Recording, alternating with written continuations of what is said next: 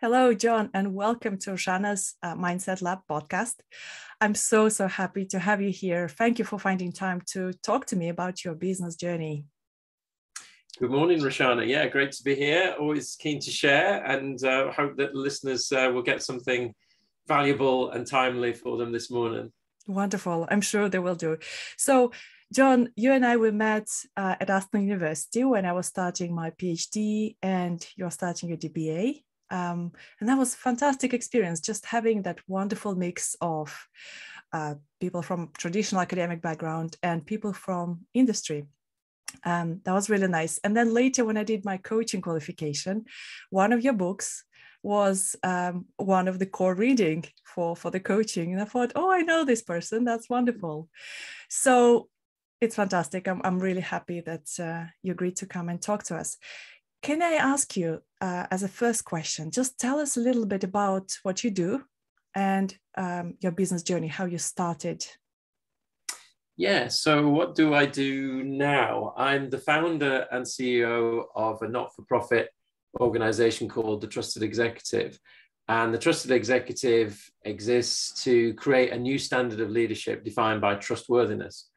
So our belief is that the world right now leads needs leaders who uh, rely on the power of trust rather than leaders who trust in power. So everything that we do and all the writing and speaking and coaching that I do is to try and build a tribe of leaders that share that passion, that want to stand up for that in the world right now and to practice together how we be the best trusted executives that we can be. So that's what I'm doing now. Um, in terms of where I started in my business career, I started at an organization called British Gas.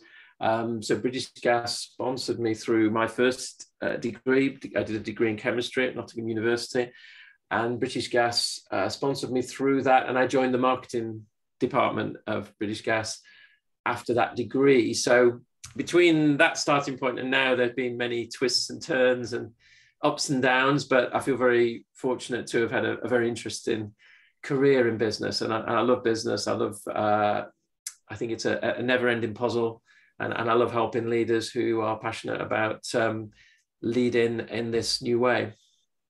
Wow, John, tell me how that happened. With degree in chemistry, then you started in marketing. Mm.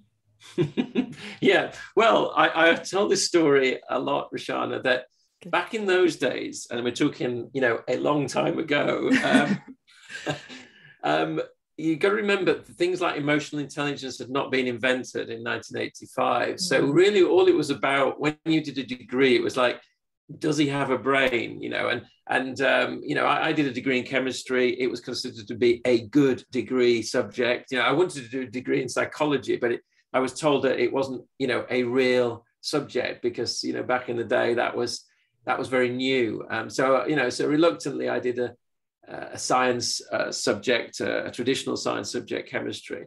And I ticked that box, you know, that, yeah, you know, intellectually, you know, you, you can tick that box. And, and that was really the key thing for organizations like British Gas at that time. That was the key criteria for joining their graduate scheme. And then they would put you in whatever function, you know, that they, uh, that they felt was was most appropriate. So there were people had degrees in Hebrew, people had degrees in chemistry or English literature, and we were all in different functions of, of British Gas. So it, it, was that was the way it worked, um, you know, back then. I mean, I think it's it's it's changed a lot in many ways, um, but uh, that was that was how it all happened. Wonderful. And how did you find marketing aspects of business? Well, um, the particular part of marketing that I went into with British Gas um, was the customer service operation. And at the age of 21, I was given responsibility for looking after 15 service engineers at the British Gas Depot in Coventry, which was notorious for its um, industrial relations uh, troubles over the years. So there I was as a very young, rocky, naive 21 year old, suddenly faced with some very experienced, wily um, service engineers, and, and I was the boss, um, you know, of people who were twice my age and who knew the job inside out. Um, so that was a real baptism of fire. I mean, really, really, diff- probably the most difficult job I've ever done. But but it really uh, taught me a lot. You know, university taught me a lot about uh, you know, academic learning, but that was a different type of learning. That was about leadership. It was about human relationships and it was about building trust you know with a group of people who were on paper very different to me um, had, had, had a very different path in life to me. But it taught me that you know at the end of the day we're all human beings. And if you focus on uh, building that trust then you can over time um, lead people. And i was really proud to to lead that group of, uh, of engineers for for a period of time. But it was probably yeah the most difficult job I, i've ever done I can imagine. Okay, so and where you went from there? Well, I um, I got the opportunity at British Gas to get involved with an IT project, uh, an IT project implementation, which again it was like baptism of fire. I didn't really know much about IT projects, but you know I went into that with an open mind and, and keen keen to learn, and of course that exposed me to technology and IT, and obviously there was a lot going on. You know, uh, a lot of change was being. Um, technology was a catalyst for a huge amount of change in business, and so it was a really exciting place to be. Uh, through that experience, I I ended up working with a piece of software called SAP in the days when not many people knew about SAP. So I, I was fortunate to be on the sort of ground floor of this incredible boom in SAP uh, software implementation, and I was a project manager for that software, firstly with British Gas, then Cadbury Schweppes. And then I joined a small consultancy that was specializing in SAP. And that was then a, you know, an incredible um, experience because it went from like 70 people to 440 people in three years. I, I became a director of that company and I got exposed to the entrepreneurial challenge. You know, I'd been in these big corporates with my pinstripe suits. And then all of a sudden I was in this crazy anarchic um, software consultancy full of bright people doing crazy things, but you know really well. And uh, it was a real, again, different culture, different uh, style of leadership. Learned a huge amount from uh, the people I was working with at uh, that organization, which was called Team One to One. A fantastic opportunity and um, probably a game changer for me in terms of what you know everything else that happened in my career. Wow! And what was the most challenging part in getting into that consultancy and then quite quickly as i understand becoming a director? I think the biggest difference for me from going from that corporate world to that entrepreneurial world really was this difference between power and trust. You know uh, in big co- uh, corporations at that time you know you had a job title and you had authority to tell people what to do and by and large people respected that. But when you went into a a very rapidly growing consultancy with very bright people who, who were being offered new jobs every day of the week. You know, they, they, they were they, they were very much in demand. So it meant that the power dynamic between the leader and the follower was was different. And I think I had to let go of a lot of corporate stuff that I'd that I'd learned and and and rely more on this trust to uh, to to lead people rather than power and authority. Um, so it, for me, it was a real defining experience to to shed some of that corporate skin and get into that entrepreneurial world and, and realize that there were other ways of getting things done. There are other ways of leading people. And it really opened my eyes. And I, I was working with some very young leaders.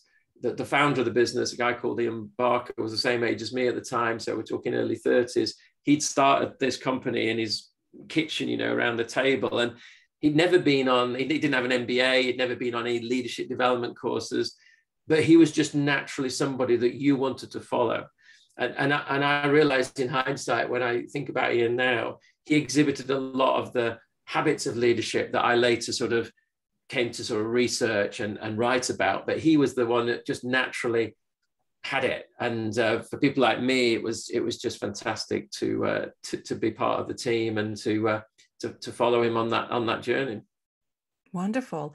So with those leadership characteristics, um, maybe it's a tricky question, but and I'm sure you've answered this question many times before. But is it something we can all develop? Probably from from Ian. If I think of Ian, the thing that shocked me the most about Ian was his humility.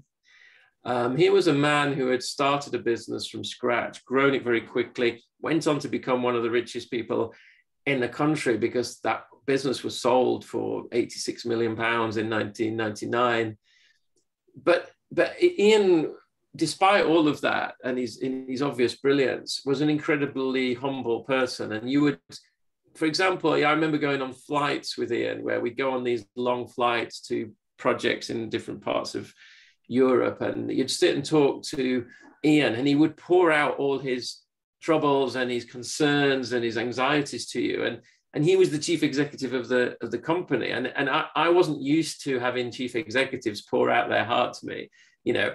Um, but I found it incredibly um, it, it, built a huge bond because because you all and it also gave you permission to um, to take risks because you knew that Ian was not presenting himself as as perfect he wasn't he knew that he was had had things to learn and it gave you permission to also um, think, okay, well, if, if Ian's like that, then I, and I know I'm like that because I know I've got a lot to learn. So, but he seems to be doing these things. So maybe I can do these things as well. And it was, it was a very empowering, liberating atmosphere. And you saw people do things that they didn't believe they could do. And, you know, I, I was the same as that. I led a project in Scandinavia for that organization for three years.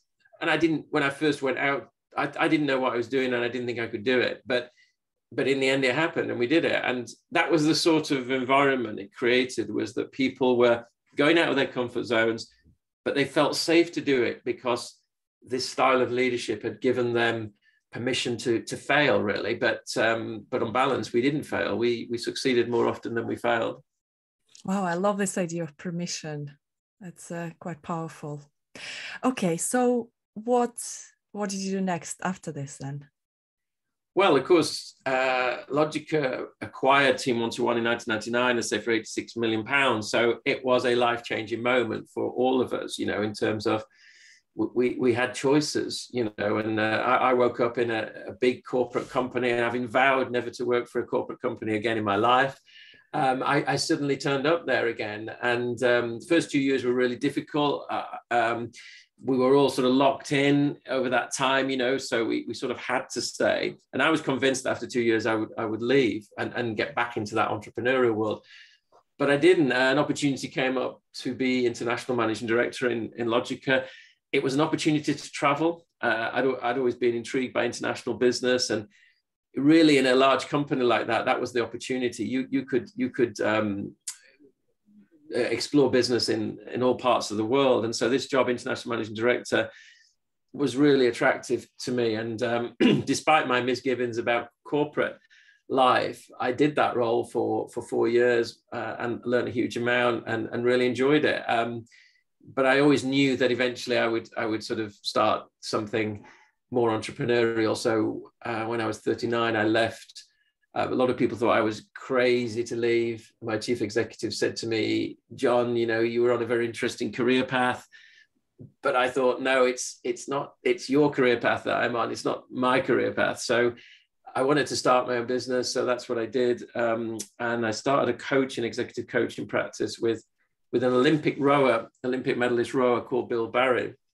And we were keen to look at what could the world of business coaching learn from the world of Olympic sports coaching. So the seven years I I went on that journey with Bill. Um, very different. Obviously, I'd, I'd got into coaching by this stage. Coaching for me was like technology in the 80s.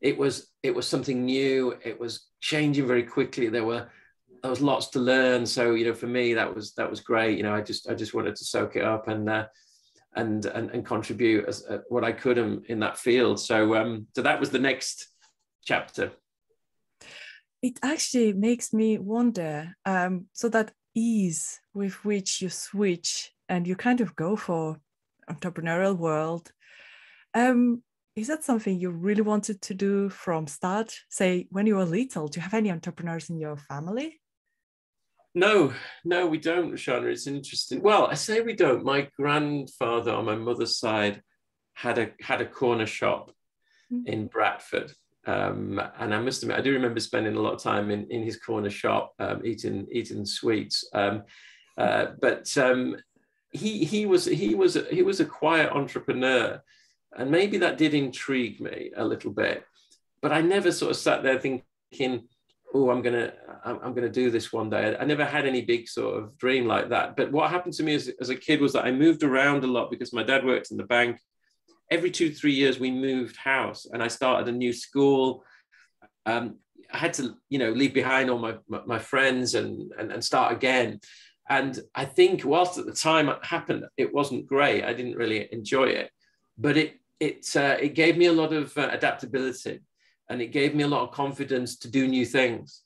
Um, and to think that you know yeah it's hard but you you get there you know you get there things things eventually fall into place. So i think it gave me confidence to make changes to start new things. And i think that's what i took into my career. And if you look at my career that's what i've done you know every so often i'll, I'll, I'll sort of jump into something. Um, and I'm, I'm sort of backing myself really that i will i will adapt to it. I will and, and, and i find it challenging and and and, and interesting. Um, so I think that's probably where some of that comes from. Is you know from from moving around a lot as a kid. Wow, this is very interesting. Okay, so how did that work out, bringing the idea from Olympic sport into the world of business? How did that develop? Yeah, it was it was really really interesting work. You know, we would take uh, executive leadership teams in a an eight, as they call them, you know, a, a rowing uh, boat for eight on the Thames uh, in Henley uh, with Olympic athletes uh, and give people an experience. And then we would debrief that, you know, to see where, where are the parallels between leading a business and uh, and and leading or, or winning a race, you know, in in rowing. And uh, you know, through that, I got to know many of the Olympic rowers. It, it also got me into that sports world. So since that time, I've had the pleasure to work with England cricket team, um, a number of Team GB sports teams, so the, the diving team, the, the Paralympic shooting team, um, and Premiership football clubs, you know. So that whole sports world opened up to me and became really interesting as a field of performance and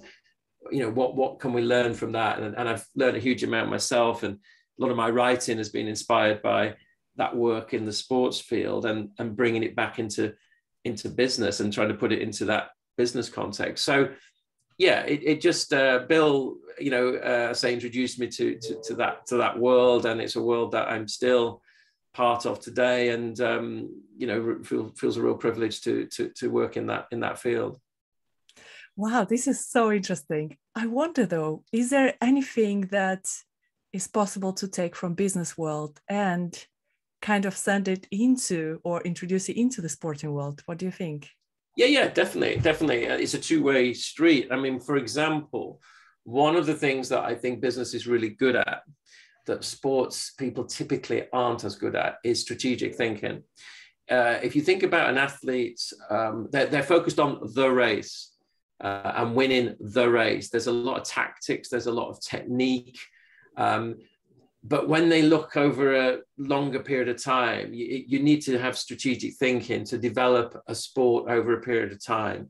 Um, so sports are often rushing from one race to the next, from one game to the next, and they're not stepping back and looking at, at, at it strategically. I think some of the challenges we see in football at the moment is there's been a lack of strategic thinking, you know, around how football is going to develop, and, and at some point, you know, that will that, that is an issue um, and is becoming an issue.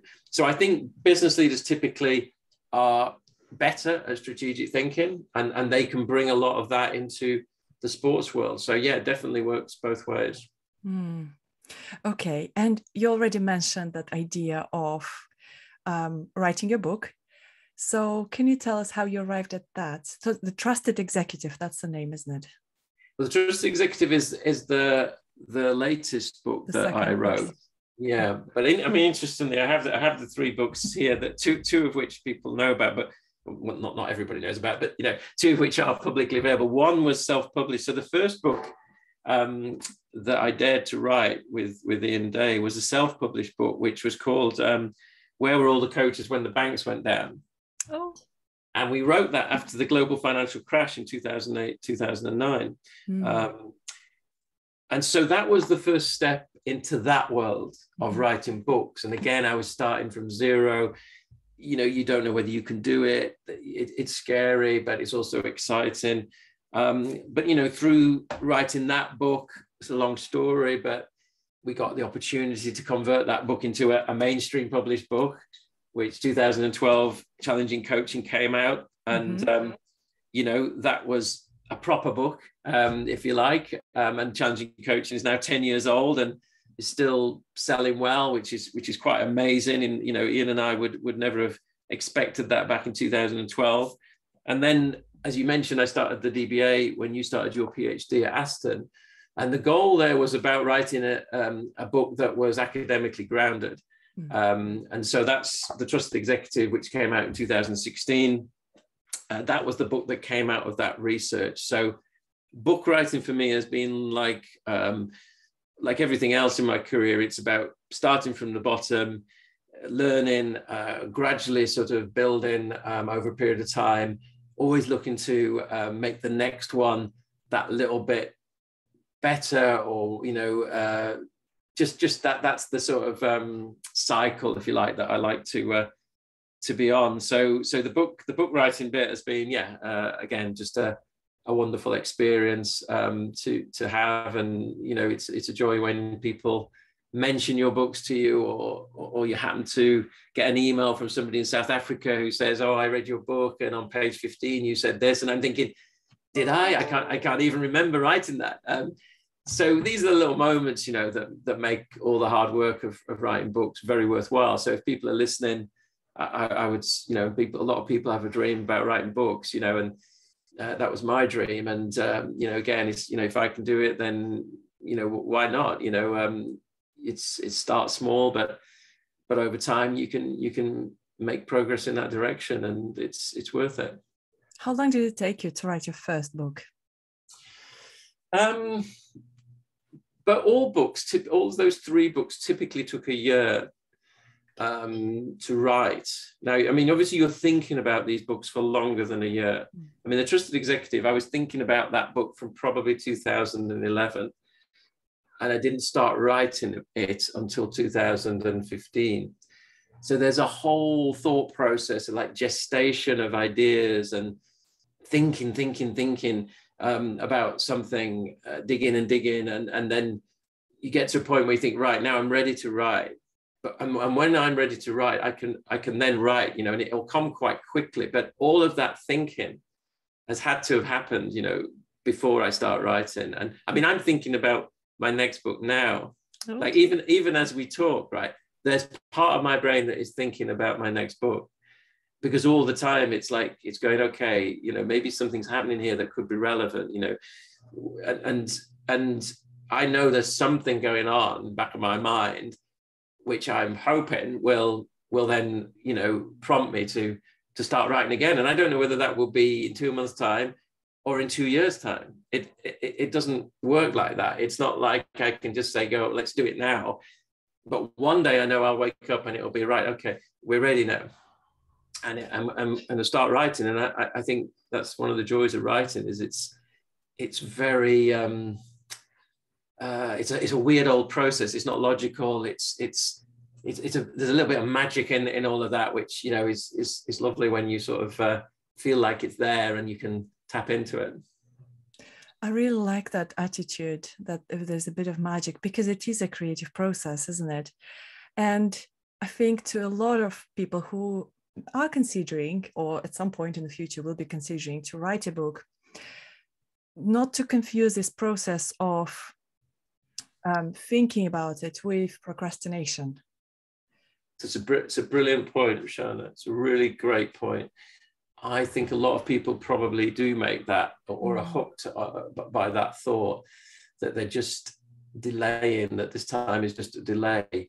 Um, I mean, obviously, there are times, there are moments when it can be procrastination, but mm. but there are also moments when no, it's it's it's it's the right thing to be doing. You're dwelling on something. You're you're waiting for inspiration. Um, you're doing your research. I mean, you you've done a PhD, and you know it's a bit similar with with PhDs that you you have to read a huge amount and think a huge amount, and you and you don't even know what it is that's going to come from all of that. But you're waiting for something to start to crystallize out, and then you go right. That's it. I've got it. But it but that moment when it comes can be it can happen. I, in my experience, you, you, you typically have to um, be patient and um, and do the reading, do the thinking, not not not thinking that's a waste of time or procrastination. It's it's it's it's creating the conditions for inspiration. And um, when that comes, then when you've got it, yeah, don't don't wait once you've once you've had it, but you need to you need to have it. And I, I was watching a documentary last night about the Rolling Stones and Keith Richards and writing music and you know, as you say, it's a creative process you, you can hear people talking about it in the same way, you know, that you can't just sit down at a piano and knock out, you know, a, a, number one hit. You know, it's it's a process that needs time, needs inspiration, and you have to um, again, I think, be a bit humble that it comes from somewhere at, at a time of its choosing, and uh, you just got to be listening and ready and and uh, to, to to hear it. Did you have any aim in mind? Was there like to to to write a bestseller or something that would, you know, take that would make me millions or something like this? Did you have any aims? Uh, with book writing, um, with book writing, the aims have changed over time. So the, the, the self-published book was, can we do this? You know, the aim is just let's let's produce a book, and we don't mind if nobody reads it. Let's just demonstrate that we can actually do this. You know, so that was the aim of the first book the second book, Challenging Coaching, which was, you know, mainstream published book, it was a little bit similar, really, because, you know, we're in a different league at that point, and you're thinking, well, let's just prove that we can do it and get and get the book out there. So there wasn't some huge expectation around writing a number one bestseller. I think with Trusted Executive, um, the aims are different. I wrote that book on my own. The, the, the first two books were written with Ian. So I did have an aim to to do something on my own and have my own voice and, and the freedom to sort of speak totally from my own voice um, and my own research. Um, so again, the aim was to, to get the job done.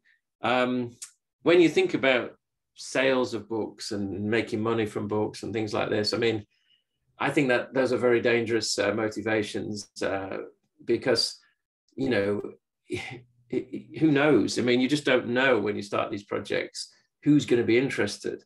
The, the, the real question is are you interested? You know are you sufficiently interested in it that you want to write you want to get something out there?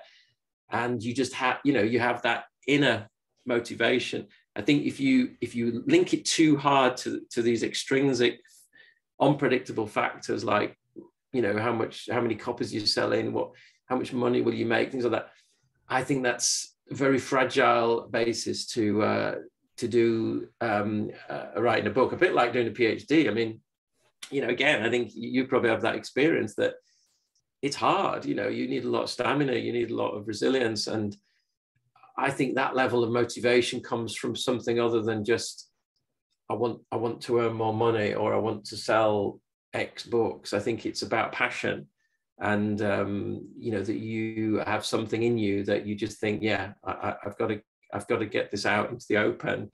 And that's its own motivation. Curiosity, isn't it? Curiosity. Yeah. Curiosity. Um, Einstein's quote was that I have no great gifts. I am only passionately curious. I love that. Uh, and I love that, you know, you know, be passionately curious. What are you passionately curious about? Because if you tap into that, that's where you might write a book. And that's the motivation to go for, as you say, curiosity is the motivation for, for these things you know what is out there? You know what could be possible? It's it's all curiosity rather than um, expectation. Mm, yes. It's really interesting. Okay so fast forward to today then and the trusted executive. On this one uh, it's a foundation as well isn't it? Yeah. i have two questions. First what how did you arrive at this name and I really, really like that the combination of it and and the meaning behind it. And second, why foundation? Yeah, okay. Now you've got me thinking here now. The name, the trusted executive. Ah, I know where that came from. I didn't actually create that name. The book originally, the title I had for the book was Building Tomorrow's Leaders, I think it was, Building Tomorrow's Executive Leaders. Mm. But then Kogan Page, the publisher, said to me, we can't have a book about trust that doesn't have the word trust in the title. Mm. And they said, um, how about the trusted executive? And uh, it was interesting because I was quite attached to the original name because you do get attached to, to those things. So it took me a while to sort of, you know, get over the fact that I was you know, thinking of changing it. Um, but I'm glad that I did, and actually I've forgotten about it until you asked me the question. But that's where the trusted executive came from. It came from the publisher, and sometimes, you know, sometimes they they know what they're doing. so yeah. you know, you, you're best to listen. Um, so that's where the trusted exec came from. Now the foundation bit, um, yeah, you asked about motivation earlier and um, you know writing books uh, things like that you know and so there i am at like you know so this is uh, six years ago so what i'm 52 at this point right so i'm thinking and people are going to me oh you should start a business based on the trusted executive and i'm going why? Why would i do that? You know why would i go back into starting from scratch again on something else because I'm not looking to have a yacht in France. I'm not looking, you know, it's it's not it's not, you know, that I'm thinking, no, it doesn't that doesn't really work for me as motivation. You, you know, your word curiosity. I'm not curious about that stuff. Mm. I'm not sufficiently curious about that stuff anymore. Um, and then somebody um, said to me, well, you could make it a charity. And at that point, I got curious because I hadn't done that before. And um, I didn't know how to do that. So it sort of hooked me in terms of hmm, how would you do that then? And why would you do that? And so the foundation is you know, we have this mission to gift a million pounds to UK based Christian led charities that are inclusive at the point of need. Um, now that mission, and we're, and we're quarter of a million pounds into that mission after after sort of five years. Um, so we've got a long way to go, but but we're on the we're on the mark. You know, we're sort of there. We're on the mountainside, sort of quarter of the way up. And um, but that statement is sufficient to motivate me to to do the hard work, you know, that, that's involved. And um, you know, I, am a, I'm a Christian, so I have a, I have a faith. So it taps into my it taps into my faith. Uh, it taps into you know what I believe in in terms of business around giving back and a more a more inclusive vision for business success in the 21st century. So it does walk in the talk really of of the book and, and everything else. So that's that's why the foundation part of it is important because without that, I wouldn't have uh, thought it was worthwhile to even start. You know, and thankfully we did start. And you know, we we we are where we are, and um, hopefully we'll um, we'll continue to make progress towards that goal. Really meaningful and uh, yeah it's it's very interesting to know that um, thanks for sharing. So what does the future hold then for john blakey? Hmm, well who knows? Um, you know as i said i have a faith so um, you know i put myself in the hands of god and and um, i let god sort of decide. But um, what am i available for? You know if, if, if you know god willing um, you know that, that, that God gave blessing to it, then um, I, w- I would like to write some more, but I, I would I would like to write more overtly about my faith, the role my faith has had in my life, um, the, the impact it has, you know, in leadership, and um, you know that that that would be something really interesting to sort of explore and share. Um, even as I talk about it now, it scares the living daylights out of me, but that's also an indication of yeah, could be interesting. Um, path. So I think yeah, writing some more. I'm I'm currently um, studying. I mean, like you know, I'm a, I'm a lifelong addict to qualifications and learning. I'm studying at Oxford University at the moment, doing a theology um, qualification, which which may in time lead to a, a degree in theology, and that's part of me wanting to play more of a leadership role in in the church and um, to speak and to preach and um, you know, do, do all of that, you know. So, so I think you're probably picking up that the future for me, hopefully, will be um, more focused on my faith and, um, you know, really uh, bringing bringing all the experience I, I have and to, to that world.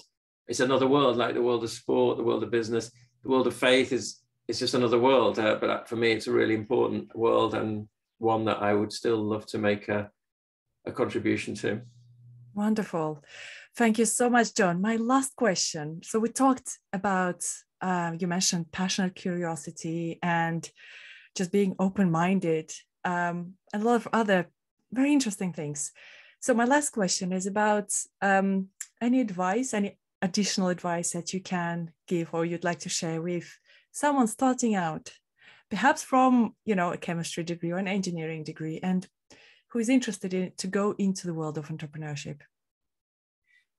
Yeah, I think the advice would be that we live in a time now where never has it been so possible to to try new things and to explore new fields. Um, uh, you reminded me of a, a, a, quote from a guy called um, Dr. David Hall. David Hall said, um, Most of us are slowly bleeding, to death in the world of what is. Um, but could we think about um, jumping from that place to the world, the, the exploding possibilities of the world that might be? Um, you know, so I think there is an exploding world of possibilities out there. And sometimes you're, you're living in the world of what is you look back on the line and you think, well, the line's a straight line and it's just going to carry on into the future. And, and it's like, no, it doesn't have to be a straight line. Uh, exploding possibilities are not straight lines, you know. And um, I think we live in a time where there are lots of exploding possibilities. And, it, and it, if you are willing to, to, to, make that jump, take, take, take a risk, um, most of these times when we take risks, we, we, we spend a lot of time thinking about what could go wrong. Um, and I'm just wanting to encourage people to think about what could go right, mm. you know, because sometimes it does go right. And obviously, sometimes it goes wrong. But let's at least spend time thinking about both because it's exciting to think about what might go right. It inspires people, it, it motivates people. And I do think that, you know, there's for, for, for people starting off, yeah, how about thinking about wow, what could go right if I did this? And um, get into that exploding possibilities mindset. Because in my experience, um, there's there's a lot out there that um, that you could leave unexplored if you if you didn't sort of knock on the door. Wonderful. Thank you so much. Really inspiring journey. Thank you very much for coming and uh, and sharing it with, with me and with the listeners. Thank you, John. Thank you. Thank you, Rushana. It's been a pleasure.